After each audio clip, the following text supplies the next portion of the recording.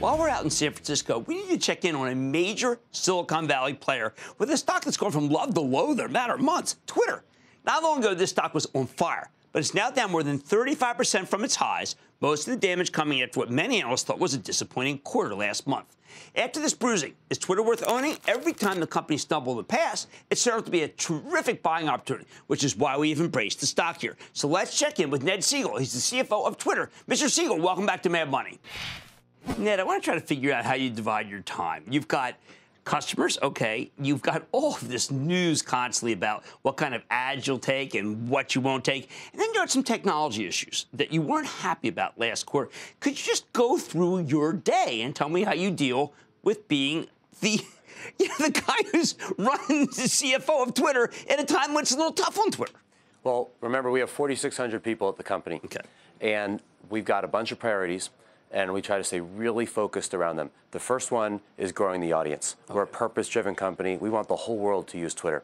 Uh, we grew our audience 17% last quarter. We're so thrilled with the product momentum that's driving that. Okay. That's where we start.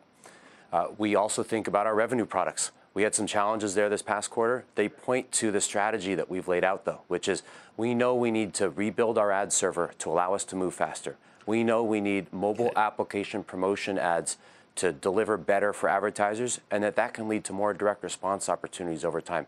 Although some of it did catch up with us in the third quarter, we have conviction that those are the right priorities and that they'll help did, us over time. Did you underspend? Well, that's an interesting question. You know, we grew headcount 16% last year. We, we're growing at about 20% this year. We're trying to be really thoughtful as we grow the team to make sure that we keep the quality bar really high, that we don't take on too many priorities at the same time. Because when we look at the success that we've been able to deliver since Jack returned to the company four years ago, it's been about being really selective and deliberate about our priorities. When your stock was at this level a few years ago, uh, I know Mark Benioff was interested in buying it. At one point, Disney was interested in buying it. Then the stock cratered. They all walked away. Uh, then the stock turned uh, turned around. Are you uh, worried that someone's actually going to try to swoop you up? Because I don't think that's your intent. What we're worried about is getting the whole world to use the service. We look at all the great things happening on Twitter, whether it's around the Eagles or something happening here in San Francisco, like the Niners game yesterday, a political event, or something very local in nature uh, in another part of the world. These are great things that bring people together, that people want to discuss, where there may be different perspectives, and you can learn about them in a social and personalized and real-time way on Twitter, and that's right. what we're focused on. Okay, well, you see what I, I wanted to show you what I have. I've got my direct message where I mentioned this morning, going back and forth with John Legere. That's how I communicate with him while he's on. He's the uh, outgoing CEO uh, of T-Mobile. It's the way to do it. I obviously follow the president, who's right now talking about the uh, Dow Nasdaq record close, showing a picture of CNBC. Uh, I follow Adam Schefter, of course. I, these are all my rituals, right? How do you get people to have the same rituals that I do? Because I don't understand why everyone doesn't have it on every minute. Because if, and I know if they did, you'd make a lot more money. Well, I'm glad you say that, and you are a great example of what somebody looks like when they use Twitter properly. You also tweet a lot, and you've got over a million people who right. follow you. So we want people to follow the topics and events that they care about most. That's what people come to Twitter for. Right. We're increasingly organizing the product not just around the accounts that people follow, but around the topics and events. I don't know if you've had a prompt yet, but I've been asked, do I want to follow the Warriors? Do I want to follow the NFL? And that makes it so that I don't have to choose which accounts I want to follow. I just say the topics I want to follow. The experiences around those events are getting so much better as we improve relevance as we improve the notifications, as we improve the performance no, of the app. On this, definitely. On this, it's really great. Mm-hmm. Okay, so you got to lose. I want to follow politics. I don't mind seeing political ads. I feel that this is the battle of ideas. That uh, Oliver Wendell Holmes said it. You best the best truth is the power of the thought to get itself accepted in the competition of the market. Why limit the competition? Well, we don't disagree with that thesis, but we feel that a voice around a political campaign, around a political issue, ought to be earned and not bought on Twitter. And it really is that simple to us. If you look at the policy that we detailed on Friday, right. that will begin to enforce this Friday, that Jack first tweeted about a few weeks ago, it just comes back to that basic principle. Now, I know I was listening to Walter Isaacson, man's much smarter than I am. I used to work for him.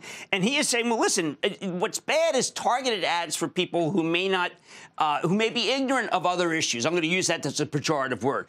If you ad, ran the ad everywhere, then it's not targeted. Maybe you just sticker it saying, listen, this is an ad we haven't vetted. Isn't that enough? Well, we are limiting targeting, so you won't be able to target uh, okay. more deeply than by a state which will make sure that if you have a message that you want to get out that you around an issue, it may still be allowed, but you won't be able to do micro targeting. In the end, we want people That's to very talk. good. We want. uh, We think it is good too. We want people to be able to talk about these issues. We want people to see different perspectives. We want them to feel safe being a part of the conversation. We want them to trust the information that they see. And we, th- we believe that we'll do a better job of that if you earn your voice as opposed to buying it. Okay, so uh, last week the president is uh, tweeting about someone who's actually testifying, kind of uh, making fun of her. Now, it, I I don't like to look at a train wreck, uh, but I know people are drawn to train wrecks. Okay, I know people are drawn to axes. I know people are drawn to big events, uh, bloopers in a baseball game. Uh, what do you do about an actual president of the United States who is doing something that you and I might not want to do? Maybe we think it's unbecoming, but we want to watch it. Well, we have a rule around um, political figures which says that uh, they may tweet something that somebody else would tweet that is against our policies, and we might leave the tweet up, but we might limit its amplification and we might cover it with what's called an interstitial. So you might have to click through to see it. And we'd tell you why it violated our rules, and we'd tell you that we left it up because we believe it's in the, the public interest to know right. what our elected officials or people who are running for office are saying, even if it might be something that could be perceived to be objectionable by one person or another, we think it's important that it's there for people to see. Okay, so Ned, you know that I recently went out after waiting and said the stock's got to be bought because it's just the franchise is ridiculously undervalued. The franchise, not talking about the quarter to quarter, because you have been very, you've been very honest. You've said you, you have to make these changes. At what point have the changes come to the point where it, the revenue is going to flow to the bottom line? Because a lot of things you're discussing, they cost a lot of money. They don't make any money. Well, we think we've got lots of opportunity in front of us. When we look at the 17% DAU growth, it's critical to start there. Remember, 18% growth internationally, 13% growth in the U.S., so it's broad based. But why didn't people figure uh, focus on that? Why did they focus on other metrics that, that you and I felt were not as important? Well, I think that's part of the accountability of being a public company is sometimes people focus on things um, that you wish had gone better. And these issues that we faced on our revenue products this quarter are things that are critical for us but to did the consumer address. packaged good companies, did anyone say, listen, I'll let me come back when you figure it out?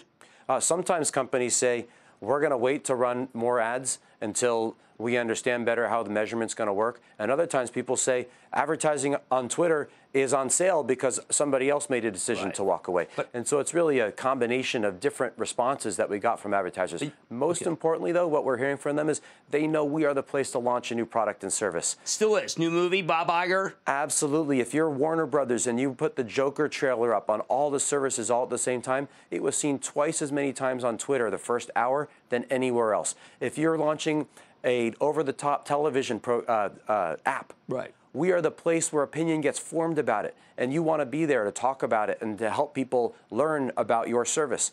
Uh, same thing with connecting with what's happening, right. whether it's a sporting event yep. or a political event or something else. We are the place where people go when they want to connect with the things that their customers care about and are talking about on Twitter. Couldn't agree more. That's Ned Segal, the CFO of Twitter, who does go back and forth with me. He knows that I'm an active user and has made good changes that I know I've requested to make it a more polite and better place. Thank you so much, Ned. Thank good you, to Jim. see you. Booyah! Jim Cramer here from Mad Money. Thanks for watching CNBC on YouTube. Click here to subscribe and get the jump on my exclusives with CEOs, plus market news, investing advice, and a whole lot more.